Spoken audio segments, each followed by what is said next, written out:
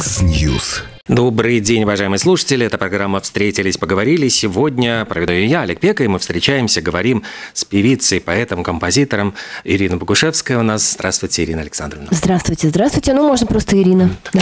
Ой, я вот как э, завещал Киркоров, э, вечно э, нужно подходить к интервью со звездой подготовленным, пересмотрел все, все ваши последние программы, интервью, мой герой, там пока все дома наедине со всеми, э, там и какие ведущие, там Татьяна Устинова, все там, все вроде бы изучил, прослушал, зашел на сайт, и вдруг ощутил себя, ну, действительно, богушевсковедом таким вот, и подумал, что вот ведь как Битлз преподают сейчас в университетах историю, наверняка ведь, ну, вот если представить себе богушевсковедение, был, был такой предмет, что нужно знать было бы главное, чтобы сдать экзамен на этом предмете? На чем бы вы могли бы засыпать, принимая экзамен у студентов? Ох, какой прекрасный вопрос. Вы знаете, Олег, э, э, я вот э, успела коротко рассказать, потому что мы встретились за полчаса до интервью, успела коротко рассказать, что я прошлым летом, в 2019 году, я вернула себе практически навык э, чтения длинных текстов, э, навык э, анализа больших массивов информации. Я когда-то закончила философский факультет МГУ, и все эти годы, что я работала артисткой на сцене, я очень скучала по такой деятельности.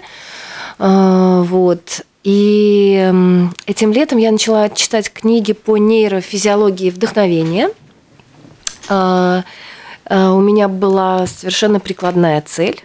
Э, это был не академический интерес, мне нужно было вытащить себя из того, что по-английски красиво называется writer's block, а по-русски это называется писательский затык или писательский ступор, когда ты перестаешь писать. Я проанализировала а, что за, вот 19, за 18 год я написала две новых песни. Это очень мало. И это на самом деле очень нестабильная и нехорошая ситуация, когда с тобой такое происходит, потому что э, если ты идентифи- идентифицируешь себя как автора, а со мной это именно так, я не, не только артист-исполнитель, я сама пишу себе весь репертуар. Если происходит такая вещь, то ну, это как бы крах твоего будущего. Да? Это очень страшно. И я начала э, читать литературу о том, каким образом справляться с такими состояниями. Я узнала невероятно много о том, как устроена наша творческая железа или творческая мышца, скажем, в мозге.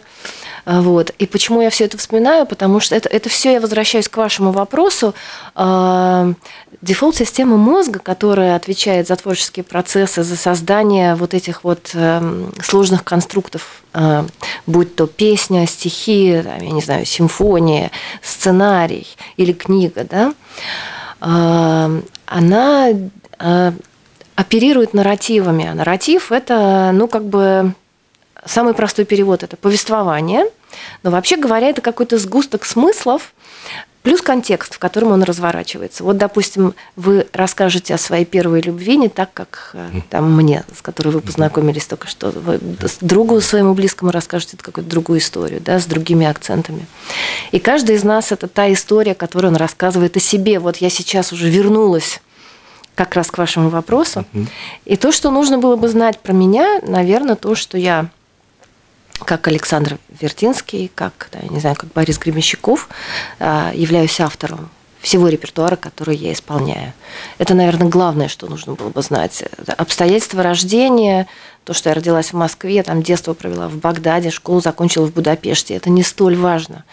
А, как важно может быть то, что действительно я училась на преподавателя истории и философии, но параллельно как бы с наукой пришла в театр МГУ и с тех пор э, как бы вот получилось, что выбрала не науку, выбрала сцену, на которой исполняю свои песни, которые вот вытягиваю из себя, как нить того самого э, нарратива, нить повествования. Значит, все мои песни – это такие капсулы, в которые упакован мой собственный опыт – вот, собственно, это, это главное. Но руки по штурвалу не тоскуют. То есть я же знаю, что у вас в ноябре, в конце ноября была э, встреча с выпускниками философского факультета МГУ, и, э, в принципе, вот вы выступили, я понимаю, что с э, лекцией-небольшим концертом на тему «Приручить Пегаса». Да, вы знаете, для меня это было совершенно грандиозно. Эм, вот так сложилось, понимаете, так бывают в жизни. Иногда в жизни бывают какие-то удивительные синхронности и совпадения. Когда я столкнулась вот с этим творческим ступором, э, начала искать способы из него выйти, начала читать эту литературу всю, э, значит, э, и неожиданно в почте обнаружила у себя приглашение от журнала психологии. У нас есть журнал «Психология», это франшиза известного, по-моему, французского журнала. И они пригласили меня спикером на свою ежегодную пресс-конференцию наряду, там, я не знаю, с Алексеем Петровичем Ситниковым, mm-hmm. наряду с какими-то совершенно грандиозными людьми – и я тогда подумала, вот как удивительно, ну, будем говорить, мир откликается на твой запрос, да, мне есть о чем сказать. Я буду говорить про нейрофизиологию вдохновения и про вот эти вот разные концепции. И когда я потом прочла, вот я сделала этот доклад на этой конференции, написала об этом у себя в Фейсбуке, и мне пришло приглашение от нашего декана. И я, конечно, сказала сразу нет. Как? Я думал, сразу да. А, почему нет? Я сказала, Владимир Васильевич а, Миронов, наш прекраснейший совершенно декан. Я сказала ему, нет, это просто невозможно. Поймите, как бы одно дело науч-поп психология. На этом уровне я еще тяну. Я, я, слушайте, я больше 25 лет вообще не, э, не занималась философией. Да? Это же тоже мышцы, которые надо тренировать. Я не могу идти к нам на факультет читать такую лекцию. Это надо делать на совершенно другом уровне. Он сказал, ничего, ничего, научпоп это тоже очень важно, студентам это тоже интересно, и, пожалуйста, значит, вот э, давай, давай, не, не, не бойся, не волнуйся. И, и мы действительно сделали такую интересную штуку. То есть сначала была 45 минут, вот это моя лекция, потом ответы на вопросы, и потом еще 45 минут был концерт. И это какое-то эйфорическое состояние, когда ты... Ну, вообще, я вообще на концертах разговариваю, я рассказываю какие-то вещи, истории создания песен. И тут ты рассказываешь тоже, как бы, конечно, через свою жизнь.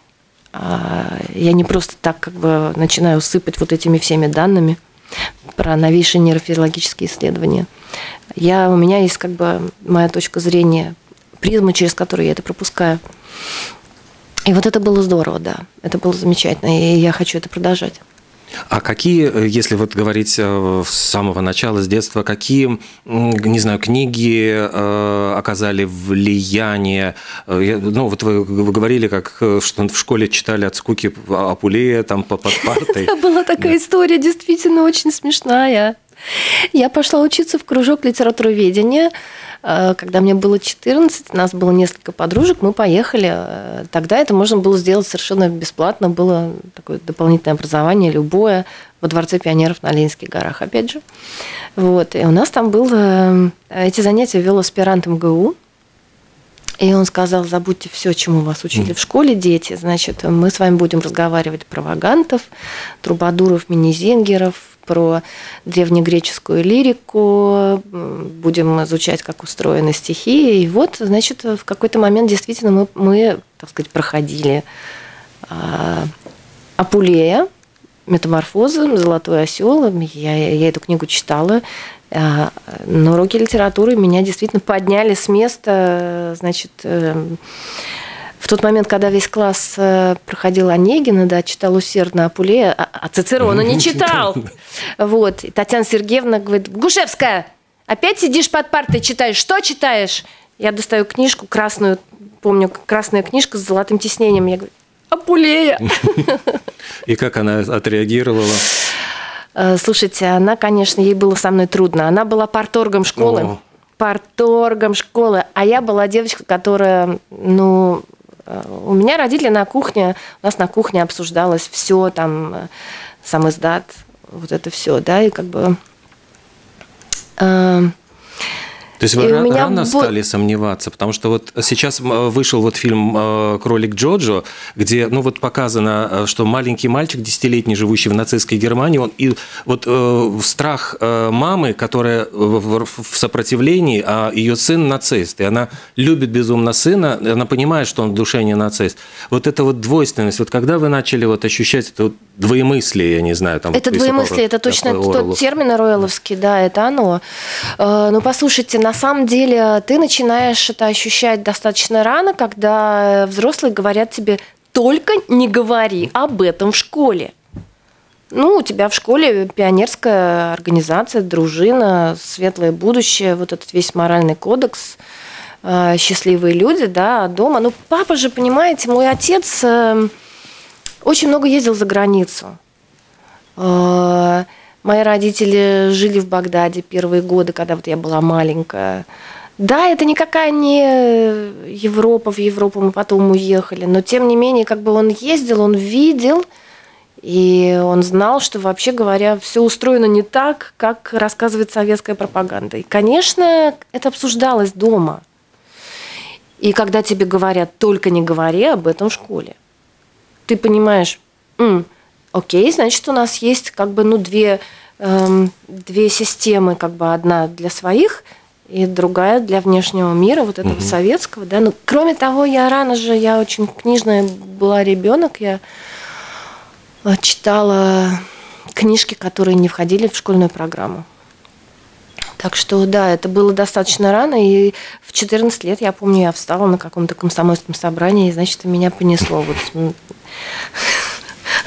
Но закончилось-то это как раз-таки да, это закончилось тем, что меня избрали секретарем комитета школы. Это был гениальный ход нашей э, старшей пионер-вожатой, которая сказала, раз Богушевская такая умная, она так все критикует, значит, может, она знает, как надо сделать. Давайте, ребята, кто за? И такой лес рук, и я обнаруживаю себя, значит, вот э, э, секретарем комитета школы. Это был очень интересный опыт. И он мне очень много чего дал и очень много в чем пригодился.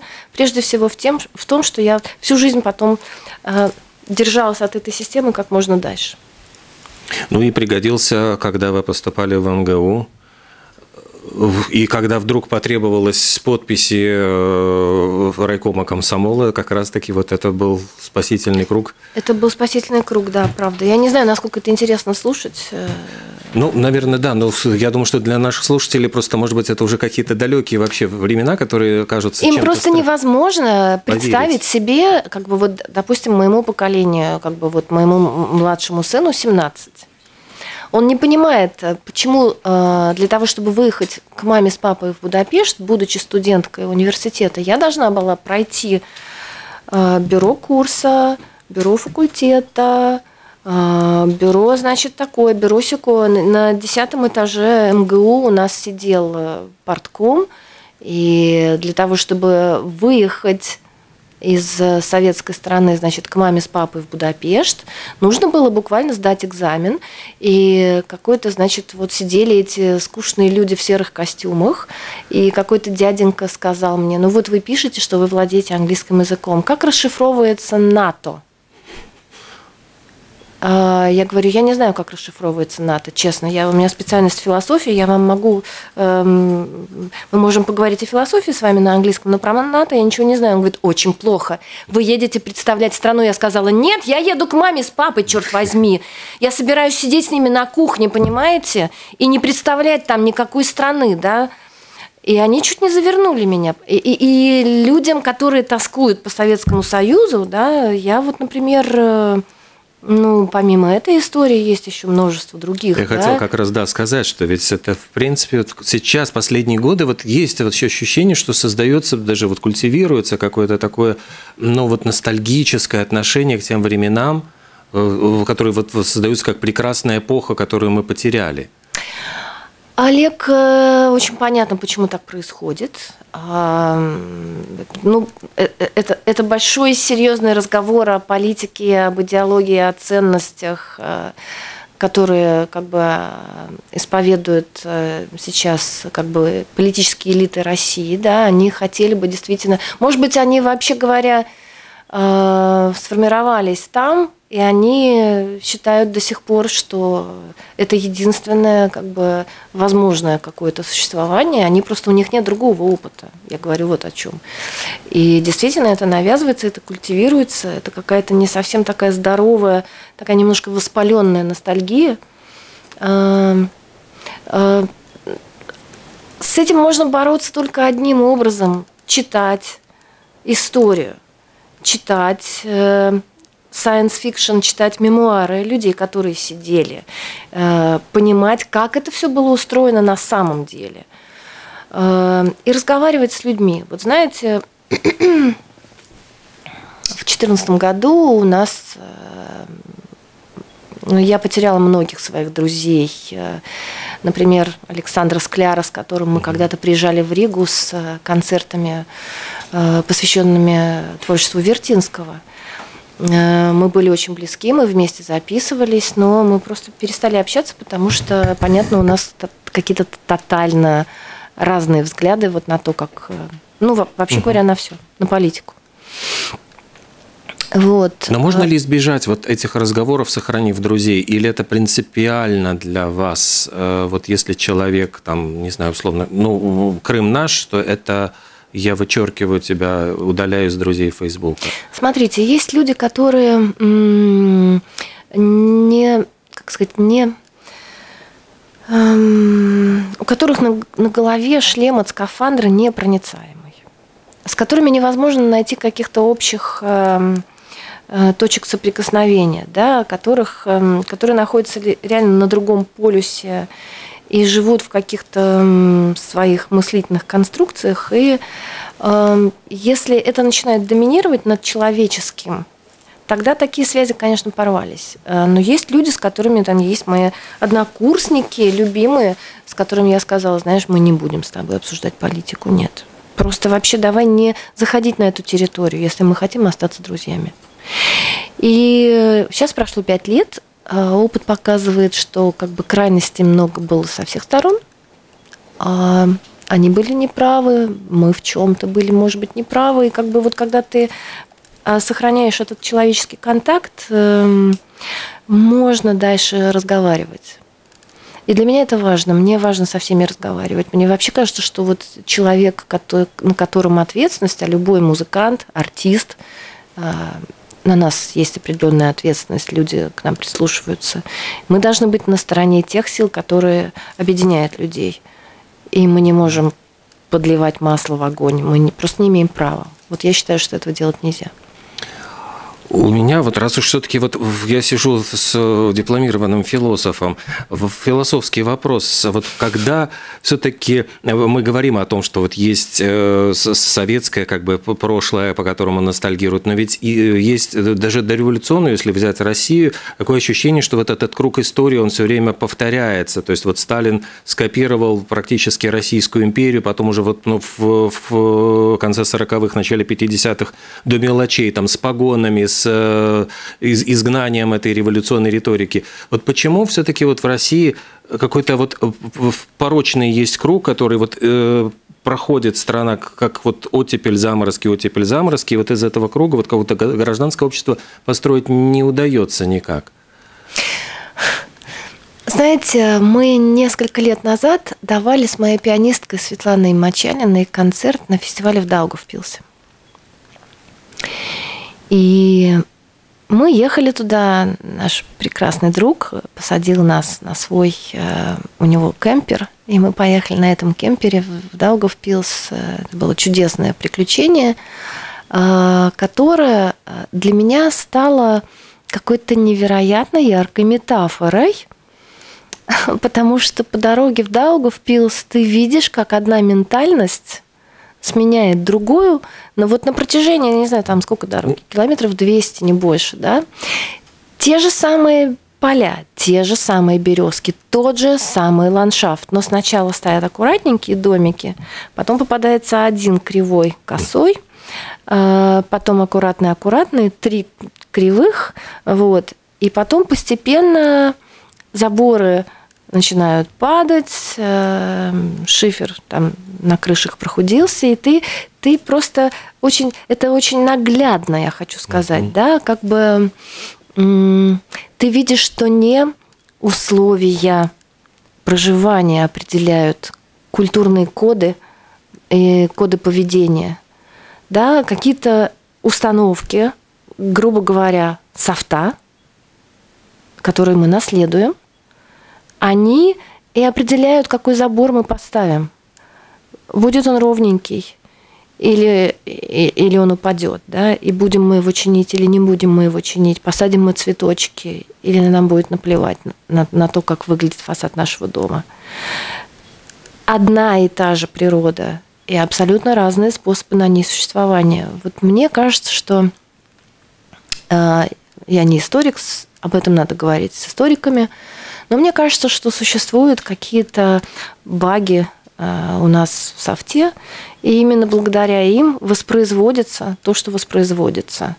Но я точно так же уверена, особенно теперь, когда год почти плотно занималась, э, э, читала исследования по нейрофизиологии, по нейропластичности, по направленной нейропластичности. Я убеждена, что весь софт в нашей голове, практически весь, включая какие-то глубинные установки, можно переустанавливать.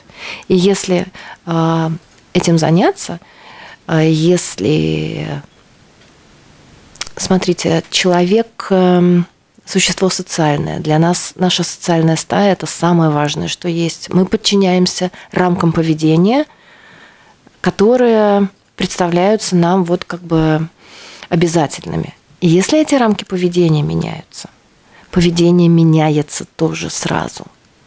История со штрафами моя любимая. А, десять лет назад вы садились в Москве в такси, и вы никогда не пристегивались. И таксист, если вы пытались пристегнуться, говорил вам, у меня сломан ремень, или вы мне что, не доверяете? И вот эти все, значит, озвучивал тексты. Я, поскольку была в серьезной аварии, я пристегивалась всегда. Потом ввели большие штрафы на протяжении двух или трех месяцев. Два или три месяца, и по мановению волшебной палочки все пристегиваются как зайчики.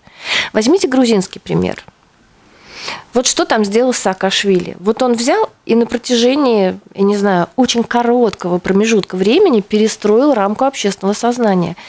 И в стране стало не принято давать взятки, исчезла страшная коррупция в ГИБД, ну, в ГАИ, угу. да? Как бы чудо? Нет. Нет, человек это социальное существо. Мы подчиняемся рамкам. Поменяешь рамку, поменяешь сознание. Вот, собственно, как бы мне кажется, вот это такой немножко мудреный и запутанный ответ на вопрос, почему все так, как есть. А, потому что существуют определенные культурные коды, которые нужно поменять, если мы хотим стать э, более здоровой нацией. Мне так кажется. Мы сделаем небольшую паузу, после чего продолжим разговор. Ирина Богушевская сегодня в нашей студии. Mix News.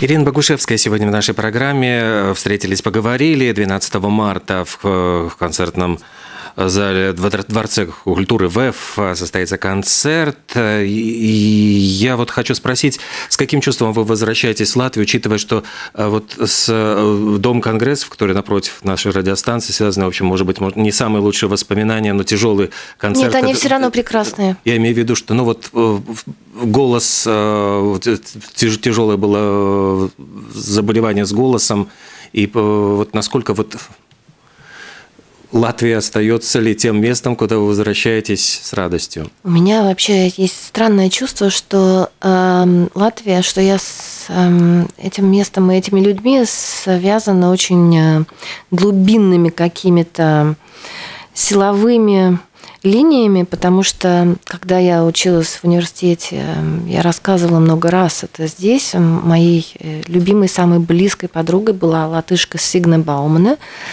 А, и я каждое лето, поскольку она жила в моей квартире в Москве, значит, все время, пока мы учились в университете. И я летом приезжала к ней, и мы ездили на велосипедах по всей Латвии. И она таскала меня в Ригу на концерты скандинеков, где она пела, поэтому я знаю песни на латышском, и для меня вообще это такая очень близкая и родная культура. Э, вот. Э, а потом э, вот с этих концертов, посвященных Вертинскому, и, кстати, я собираюсь тоже Вертинского попеть в марте, потому что, потому что его песни вообще не, не устарели ни разу, началась моя новая эпоха как бы моей латвийской жизни. Здесь уже, уже по другую сторону. Это не Тукумс, это Вецеки, угу. где живут мои близкие друзья.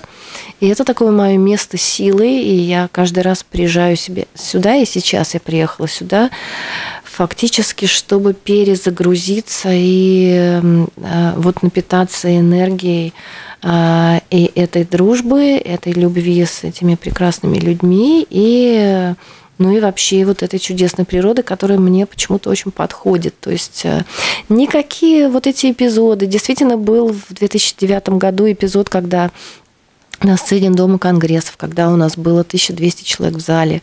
У меня отказали связки, но это было не из-за Латвии, это было из-за того, что я всю осень перед этим весь сезон работала больная, из-за того, что у меня умер папа перед э, вот этой поездкой, и э, я не хотела никого подводить, и ни, ни, ничего не хотела отменять, но просто, ну, понимаете, организм не прощает такие вещи. Латвия здесь вообще не виновата. Э, так совпало. И я очень люблю латышскую публику. Это очень особенные, а, особенные, очень чуткие люди, которые вот очень эм, впитывают и очень много отдают тебе в ответ, если ты все делаешь хорошо и правильно. Я стараюсь все делать прям вот на сто процентов всегда. Вот этот проект у нас был с Паусом, который да. мы несколько лет здесь делали и показывали, и это интереснейший опыт. Вот. Но сейчас я хочу все-таки вернуться, ну, как бы с сольным концертом большой сольной программой. Плюс она будет акустическая. Мы приезжаем без барабанной установки. Мы хотим, чтобы было слышно все слова. Для меня это очень важно. И мы эту программу сейчас обкатали. Осенью мы ее показали премьеры в разных городах в России. И я хочу сказать, что у нас совершенно другая отдача от этих концертов. Э, эм, это гораздо более какое-то точное воздействие, и это возможность а, выстроить такое, ну, как бы энергетическое взаимодействие с залом, когда ты просто реально прям вот улетаешь.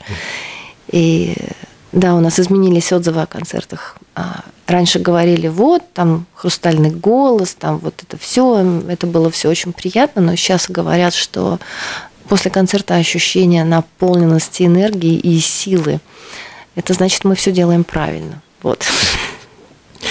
Э, почему барды такие злые? Вот не принимали вас ну, в, в, свои ряды и вообще считаете, вот как можно ли э, с философской точки зрения вот разложить музыку по полочкам, вот эстрада на одну полочку, рок на другую, потому что ваше имя и в рок-энциклопедии, рок советского, российского рока присутствует.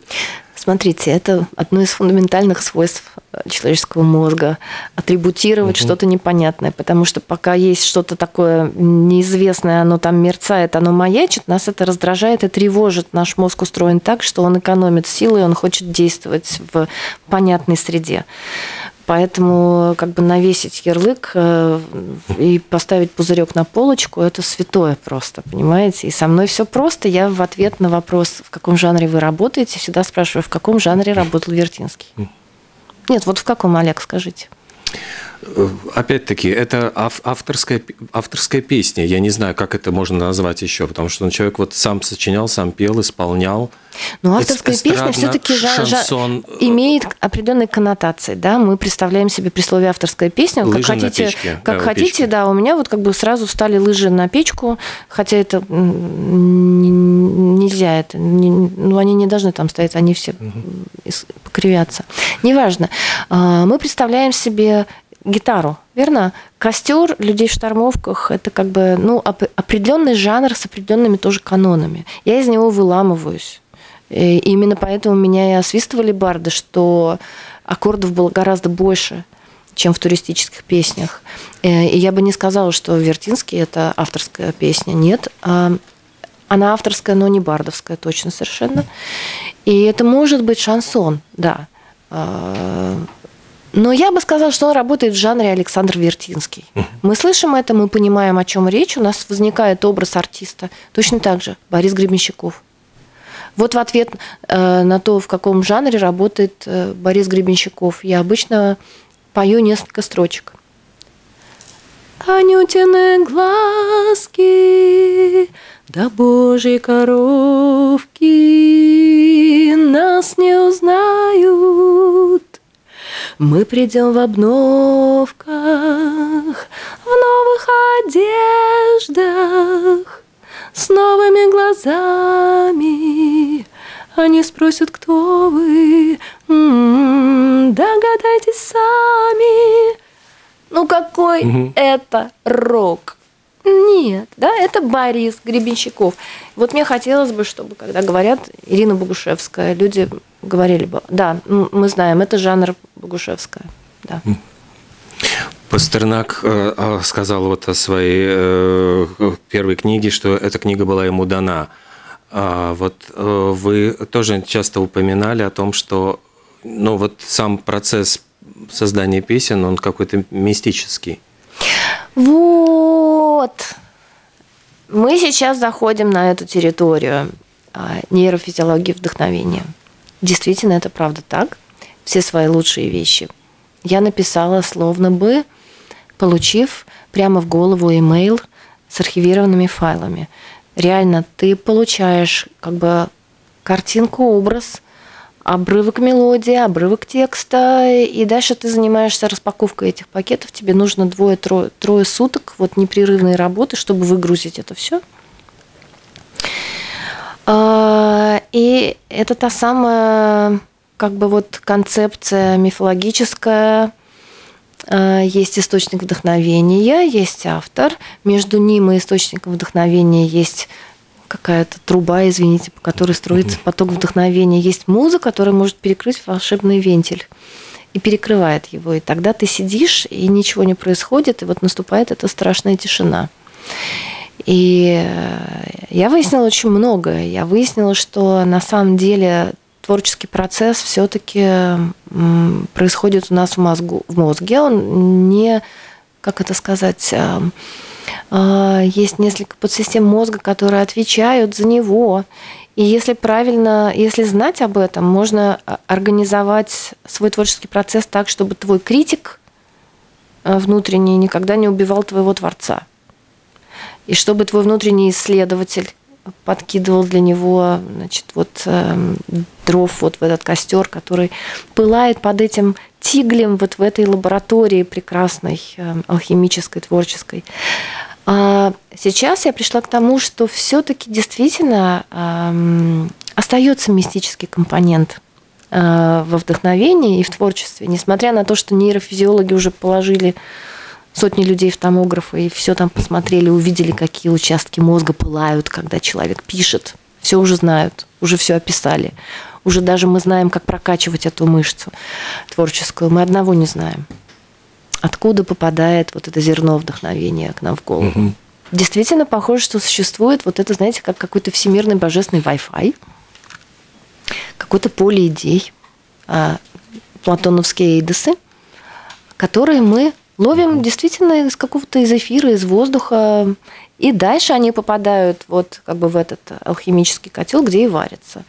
То есть э, да, мы как бы горизонталь вот этого вот творческого процесса, загрузка данных, дальше вот эта скрытая стадия, дальше выгрузка, мы уже можем посмотреть в томографах но все равно остается, да, вот это какое-то дополнительное измерение, поэтому все очень, все очень интересно. Но это до тех пор, пока, знаете, мы не, пока у науки нет никаких точных инструментов, чтобы туда залезть и посмотреть, откуда оно к тебе в голову, каким воздухом тебе это надуло, да? Ведь мы несколько тысяч лет за древними греками повторяли про Пегаса и Музу, mm-hmm. да, пока не было томографов. Пол Маккартни, тот же, те же ребята из Абы, вот те люди, которые создавали какие-то совершенно фантастические мелодии, ведь в какой-то момент тоже вот как будто бы кто-то перекрыл этот краник, и вот стоило э, развестись со своими девушками и бросить их, группа распадается, и ну что, вот практически ну, One Night in Bangkok в мюзикле Chess. Можно ну, по пальцам пересчитать какие-то песни, к которым были причастны Бьорн Ульвиус и Бенни Андерсон, угу. которые вот каждый год выдавали там 20, чуть ли не 30 песен.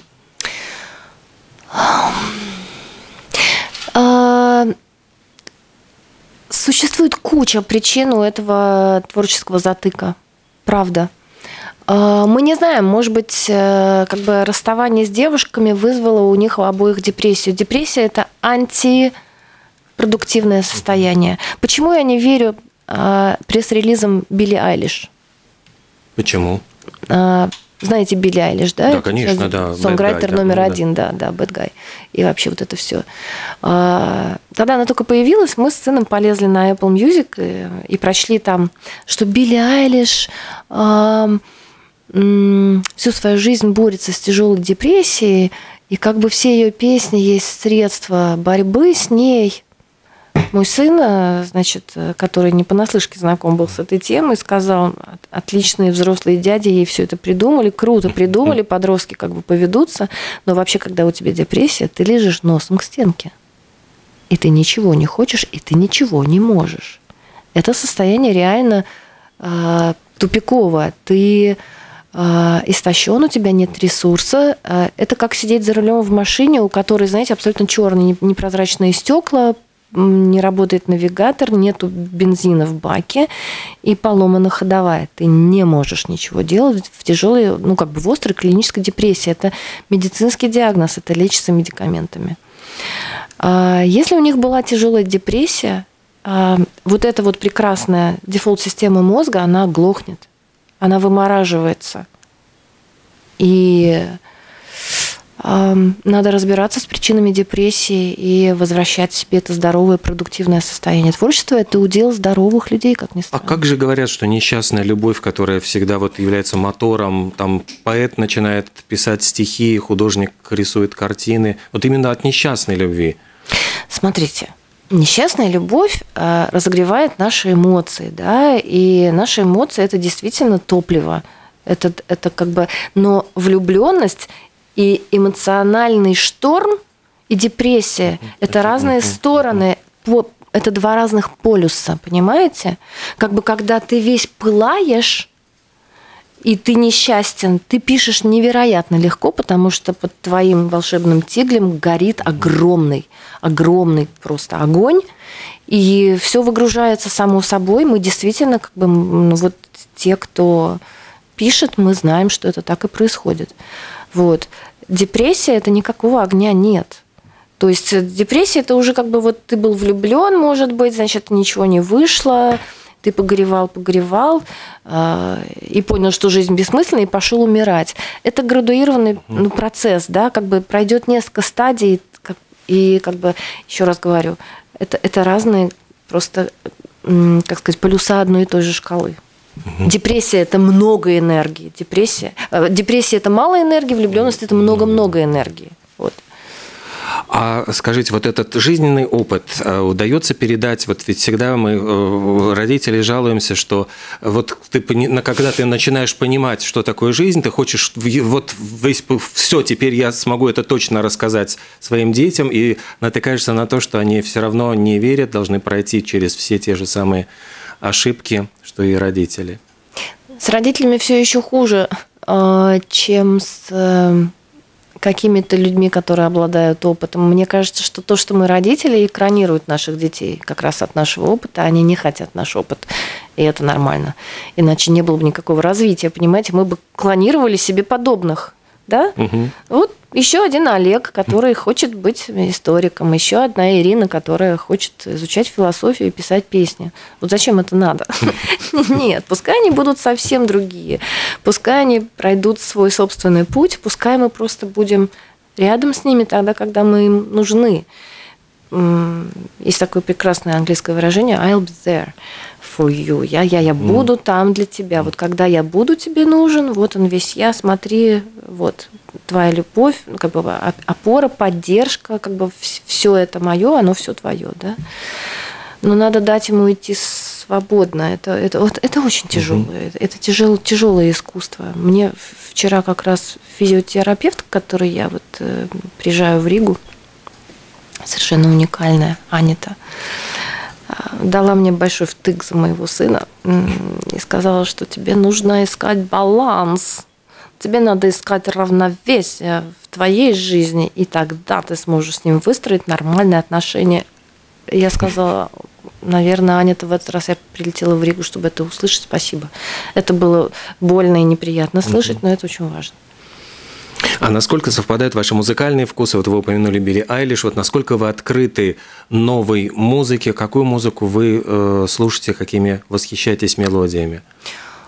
О, ну я слушаю много всякой разной музыки. И смотрите, как бы когда у тебя есть соцсети, угу. на тебя сыплется изобилие нового всего постоянно. А, Билли лишь чем прекрасно, помимо того, что они замечательно с Финиасом работают со звуком и аранжировками, ведь она работает в этой матрице как бы сонграйтинга. Вот, кстати говоря, угу. вот, вот кто я. А, вот Джонни Митчелл, вот Леонард Коэн, вот у нас Вертинский, вот Гребенщиков. Все, всех этих людей можно назвать словом сонграйтер. Да. Стинг, кстати угу. говоря, Тоже. Себя называет именно сонграйтером. И, кстати, у него есть на Теде потрясающая лекция про то, как он словил творческий ступор, как он был в нем долго и как он из него вышел. Посмотрите, это безумно интересно. Просто Стинг признался, что вот с ним это тоже случалось. Сонграйтеры. А, вот. И э, Билли Айлиш сонграйтер, безусловно. Она работает в матрице, в лекалах а, мелодии и текста, который, да, окей, носит какую-то служебную функцию, но у нее в песнях есть мелодия, которую мы можем напеть. Это не только сложно организованные ритмические структуры, как в как у группы Terramates, допустим. Вот э, яркая, красивая интересная современная музыка. Ни одной мелодии не могу напеть, но слушаю с удовольствием. Да? Много драйва, много энергии, много мыслей музыкальной, ни одной мелодии. А вот «Прата ветра», допустим, вот ты сказал про это ветра, и у тебя десяток песен, раз, и развернулся в голове, потому что Кауперс, сонграйтер, он, значит, он работает вот с мелодией. Конечно, мне нравятся э, песни, в которых есть мелодия, mm-hmm. да, да. Вот. Но мне также нравится, вот я не знаю, э, Ариана Гранде, это R&B.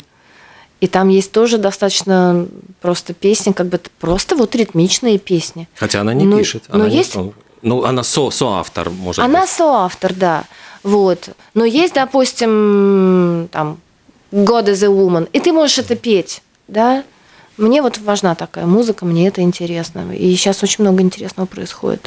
А вот вы упомянули соцсети. Насколько они дают возможность музыкантам сейчас э, ну, более спокойно выстраивать отношения с, со своей аудиторией, находить эту аудиторию? Вот, потому что раньше было много музыкальные лейблы, э, необходимость ну, подстраиваться, может быть, под формат радиостанции, условно говоря, для того, чтобы твою песню взяли на радио. Угу. Ну, смотрите, соцсети это очень хорошо. С одной стороны, потому что у тебя есть сразу прямой контакт с твоей аудиторией. И соцсети это опасно, потому что такого прямого контакта множество кругом, и он есть вообще у всех. И если раньше как бы вот эти какие-то фильтры там радио, эфиров, вот этого всего, да, чтобы попасть к аудитории, должен был через них просочиться. И если ты сочился там через э, радио, значит, ну ты кто-то, тебя стоит слушать. Сейчас э, я открываю Инстаграм, на меня падает одновременно, там, может быть, пять новых клипов новых исполнителей, да, или там тех, тех, кого я подписана, тех, кого они перепостили, не говоря уже там про Facebook. Да, и понятно, что ресурс времени ограничен, поэтому э, с одной стороны, вроде бы, да, есть прямой доступ, и, и вот все как ломанутся, да, а с другой стороны, внимание размазано очень тонкой пленочкой сейчас у людей, потому что это самый дорогой ресурс, вообще говоря, который у нас сейчас есть, внимание. И когда у тебя, грубо говоря, 10 исполнителей в день или тысячи исполнителей в день, которых ты можешь послушать, что происходит? Легче потеряться. Огромный массив информации, и в нем легче потеряться. Поэтому ты должен э, понять, чем ты можешь зацепить людей. И вот те, тот молодняк, за которым я наблюдаю, как бы все равно выстреливают те, кому есть что сказать. Вот если там есть контент, живая мысль, плюс истории, а, вот тогда это все работает. Плюс музыка. Ой, столько еще вопросов, а у нас так вот завершилось внезапно время. Как? Да, все, вот час прошел, вот мы, мы заговорились. 12... Ничего не успели сказать. 12 марта приходите все в концертный э, Дом культуры ВЭФ, э, концерт Ирины Богашевской. Спасибо большое за то, что нашли время прийти к нам в студию. Да, спасибо за прекрасную беседу. Счастливо.